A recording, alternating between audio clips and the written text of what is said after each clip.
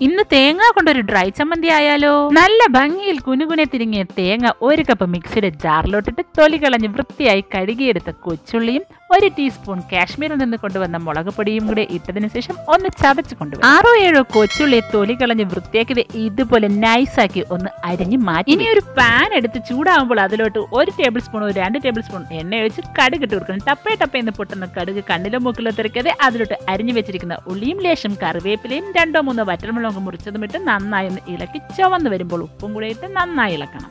അതിലോട്ട് ഒതുക്കി വെച്ചിരിക്കുന്ന തേങ്ങയിട്ട് ഒന്നിനൊന്ന് തൊടാതാകുന്നവരെ നന്നായി ഇളക്കിയാൽ ചമ്മന്തി റെഡിയായി മക്കളെ.